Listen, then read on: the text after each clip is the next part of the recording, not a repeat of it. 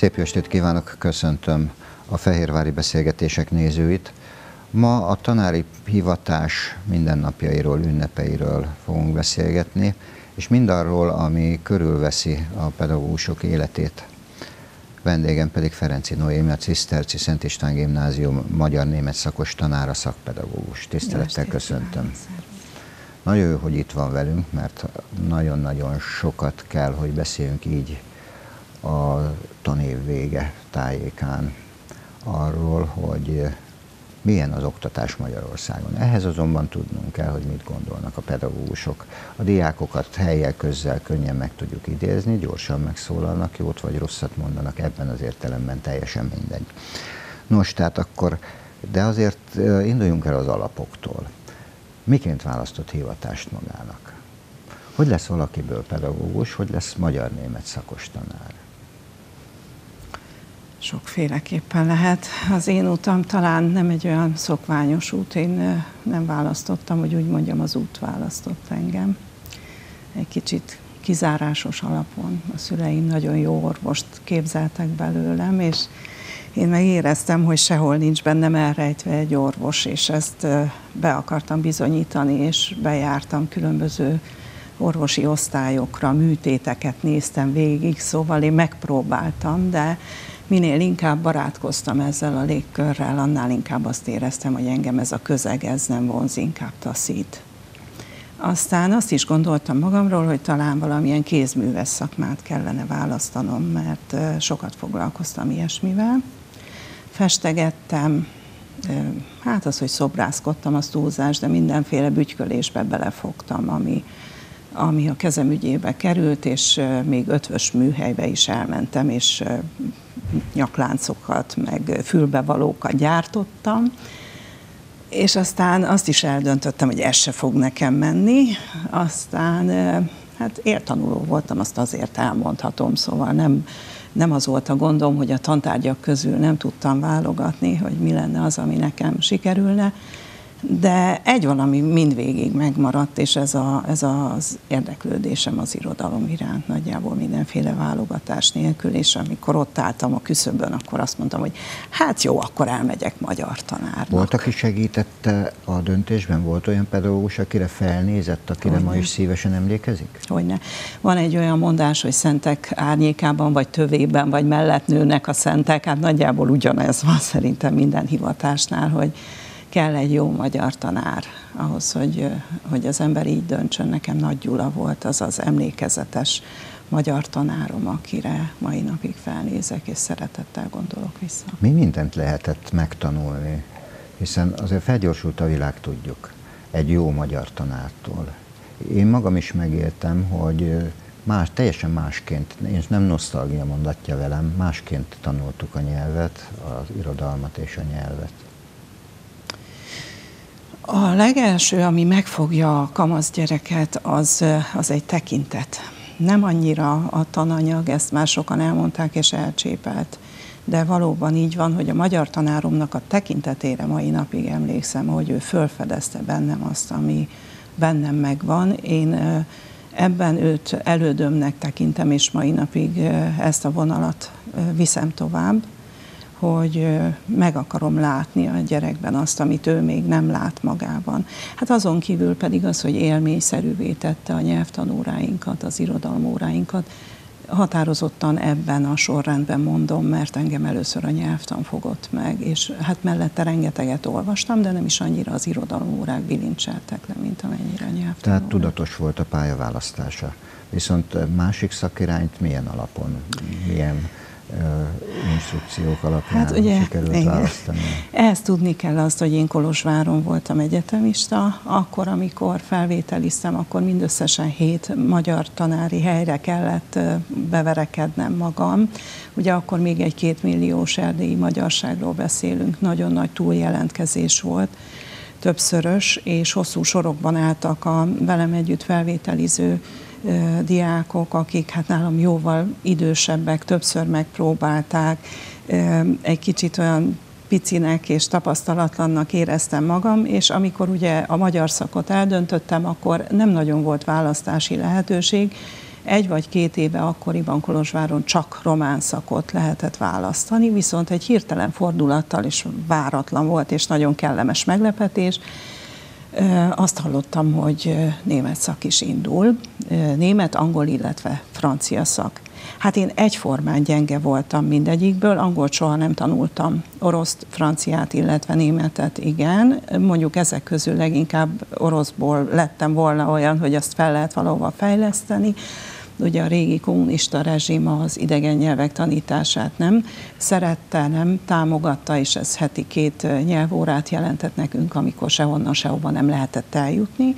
És akkor így fél év alatt én nekiültem és megtanultam a német felmenőimre való tekintettel a német nyelvet. Tehát egy legendás időszak volt a Babes Bolya időszaka egyébként, és Kalóz Zoli bácsi Isten nyugosztalja nagyon sokat beszélt, ugye a a, ugye ő is Kolozsvári, Kolozsvárot élt hosszasan, hogy mi minden történt. Tehát ez egy remek alapot biztosított egyik oldalról, hogy minden nehézségen túllépjen. Igen, ehhez hozzá kell tennem, hogy abban az évben halt meg az édesapám is, és ez nekem egy nagy motiváció volt. És mm, ugyanakkor egy nagy lelki nyugalommal mentem a veszteseknek, a nyugalmával mentem felvételizni. Melyik volt az az, az első pillanat, az első órája, amely, amely biztossá tette, hogy ez a pálya önnek való, ez a pálya, a pedagógus pálya, ez olyan, amely, amely végigkíséri majd az életét, annak minden jó és rossz oldalával együtt. Hát lehet, hogy furcsa lesz, amit mondok, ez csak néhány éve van. Nekem nagyon hosszú volt a rákészülődésem az egyetemet úgy igazából nem élveztem, nem élveztem ki, én korán alapítottam családot, korán neveltem gyermeket, tehát én nem éltem azt a klasszikus egyetemista életet, amit a többiek, közben írogattam különböző lapoknak leginkább színikritikákat, ez egy régi fertőzöttségem, meg gyereklapoknak mindenféle gyerek történeteket, és aztán elkezdtem a pályát, de aztán meg is szakítottam a következő, majd az őt követő gyermekem miatt, tehát nagy kihagyásaim voltak, tele voltam bizonytalansággal, hogy tényleg ezt kell -e csinálnom. Nagyon Ma már úgy érzem, hogy nagyon a tárgyra koncentráltam, és nem tudtam elszakadni ettől annyira teljesíteni akartam, meg annyira hozni akartam a formámat, és ugyanakkor meg annyira nem volt összhangban azzal, amit a, a másik oldalon kimenetként láttam, hogy emiatt tele voltam görcsökkel. Tehát kétségei voltak. Kétségei és mi hozott megerősítést, voltak. pozitív megerősítést? Megöregedtem. Bölcsebb lettem. Úgy gondolom, hogy leginkább ez az emberismeretem, és az, hogy már nem ott látom a súlypontokat a szakmában. Tehát ez a tempora mutantur változnak az idők? Én változtam nagyon sokat. Lehet, hogy nem. Az idők azt mondják, hogy, hogy minden egyre rosszabb. Én ezt nem tapasztalom. Úgy gondolom, hogy minden változik, de leginkább én változtam meg. Ugye belekapaszkodom az iménti gondolatába, egy kicsit előbb kezdünk el beszélni a diák színpadról, hiszen ugye színi kritikákat írt. Ez egy örök szerelem volt a színház? Én azt hiszem, hogy én ezt, én így születtem. Én óvodás koromban is már rendeztem és belépőjegyet, szóval ingyen adtam akkor is a színházat, de belépőnek lenni kellett, és akkor ez így elkísért. Ahogy gimnazista lettem, az volt az első dolgom, hogy megnéztem, hogy hol van a színpad, és hogy én itt rendezhetek egy József Attila estet, és akkor így rám néztek az új tanárok, hogy ez ki, meg mit akar. Én voltam a sólyom Noémi, ugye lánykori nevemen, és akkor azt mondták, hogy jó, hát akkor nézzük meg, és mindenütt támogató volt a légkör.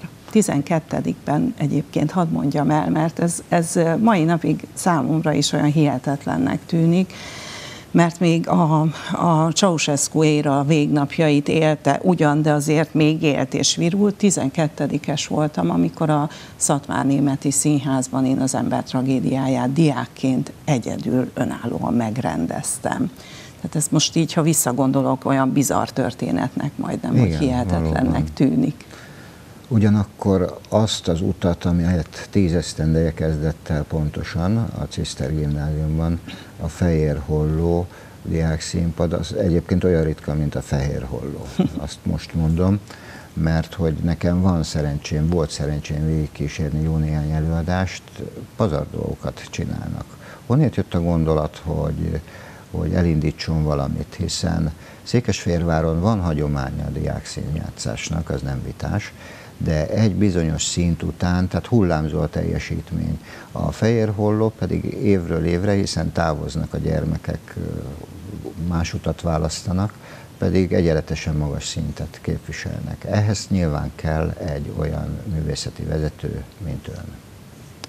Mi hozta létre, kezdjük a tíz évvel ezelőtti történetnél? Az hozta létre, hogy nem tudtam megfogni azt az osztályt, a tantárgyamnak nem tudtam meg, meg, meg, megszerezni, akiket így megkaptam, ha jól emlékszem, tizedikben, talán tizedikben kaptam meg őket, és nagyon nem szerették az irodalmat, vagy legalábbis olyan feszült volt a légkör magyar órán, és akkor hát próbálkoztam mindenféle módszertani újítással, és ez volt az egyik hogy jó, hát akkor dramatizáljunk valamit, és ugye mihez nyúlhatnék egyébhez, mint az egyik legszebb kamaszkori emlékemhez, a már emlegetett ö, tragédiához, és akkor így kezdődött hogy eleinte azt mondták, hogy hogy lehet így írni, ez szörnyű, ezt ők nem tudják megtanulni, és amikor befejeztük, akkor azt mondta az egyik tanítványom, hogy ez fantasztikus. Hát ez volt a megerősítés. Ez volt a megerősítés. Ha pedagógusként szigorú,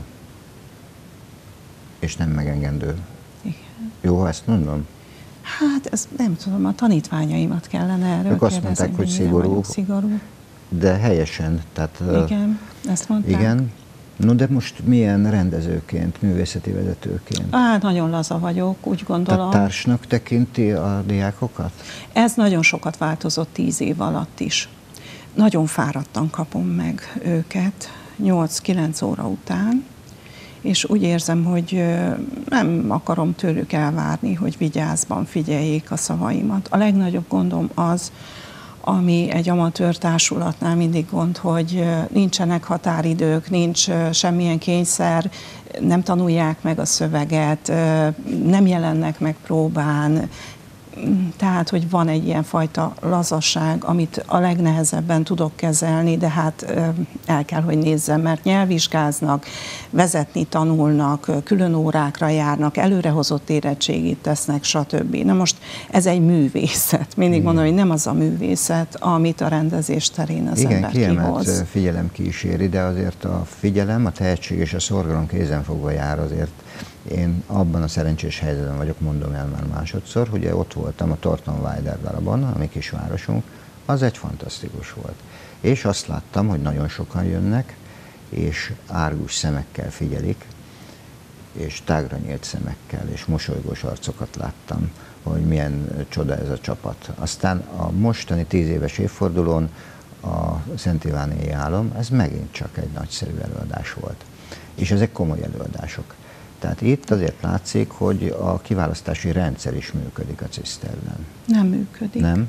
Nincs kiválasztási rendszerem. Az történik, hogy megnézem, hogy kik a fiatalok, akik esetleg, tehát a generációt nézem meg, a nemzedéket. Megnézem azt is, hogy kik azok, akik nem akarnak leszállni róla, mert mindenképpen benne akarnak maradni a csapatban, és akkor egy kicsit ilyen intuitívan találom ki, hogy mi legyen a darab, és hogyha valaki nagyon színjátszó szeretne lenni, akkor függetlenül attól, hogy tehetséges-e vagy sem, jöhet.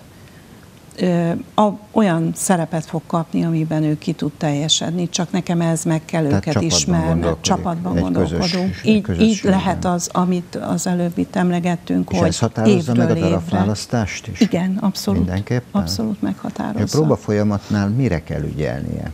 Tehát ilyenkor hogyan lehet levetkőzni a szigorú pedagógus voltát valakinek?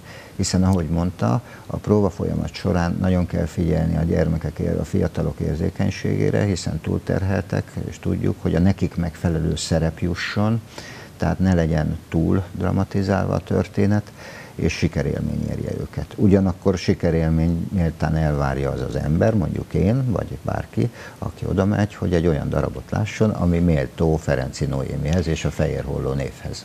Van bennem tudatosság természetesen. Beszoktam olyan zsilipeket iktatni a próba folyamatban, vagy lépcsőket, amiket ők előre nem tudnak, de ahol így összetalálkoznak olyan szálak, amik őket motiválják. Szóval nem lehet egy egyhangú folyamat az a két-három hónap, hanem valaminek közben történnie kell. Ez lehet olyasmi, hogy összehozom azokat a jeleneteket, vagy szereplőket, akik vagy amelyek eddig nem találkoztak, vagy pedig kimozdítom őket valahogy a komfortzónájukból.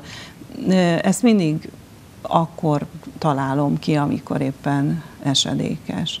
És akkor ettől lendülünk tovább. Mert vannak kiemelkedően tehetséges fiatalok, ez Igen. nyilvánvaló. Egyet-kettőt nevesíthetek is, hiszen Barát Eszter, Varga Eszter, a versünnep székesfehérvári fiataljai, Tóth Bence nagyszerűek minnyáján, és a többieket ne, nem említem, de de őket is szeretjük. Ezt Barát Eszter sajnos nem az én tanítványom, ja, nem, csak azért intettem, hogy nem, de ő nagyon tehetséges, csak, csak nem az én tanítványom, igen. igen. No, igen. tehát a lényeg az, hogy arra figyele, hogy mi van velük, mi lesz velük. Kell-e arra ügyelni, figyelni? Amennyire engedik, annyira igen, vagy igénylik, nem is, hogy engedik, annyira igen. És van, aki visszatalál, van, aki évekig visszajár, és van, aki csak jelzésszerűen. De igen, megvan ez a kapcsolat a régiekkel. Egy februári eseményre utalnék vissza, a Városháza dísztermében voltunk a duett, Radics Éva tanárnő és Ferenci Noémi tanárnő közösen összefogott, és egy gyönyörű szép estét szereztek nekünk. Ez valami plusz, ugye? Hiszen itt teljesen másról volt szó.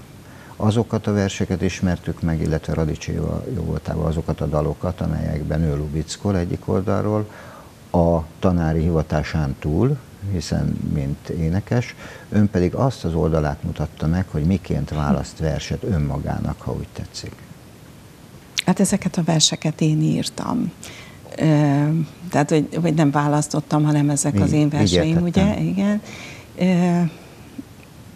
Ez egy ünnep volt mindkettőnknek, úgy gondolom. Szeretem, hogyha valami megtöri a hétköznapokat, de erre azért nem számítottam. Szeretném elmondani, hogy Bércesi, Bércesi Katalin tanárnő, illetve Farkasné Sárközi Éva kolléganőink találták ezt ki nekünk, mert hogy látták a verseimet, ugye Éváról mindenki tudja, hogy mennyire tehetséges, és akkor azt mondták, hogy hát akkor most itt az ideje, hogy egy ilyen kirukkoljunk.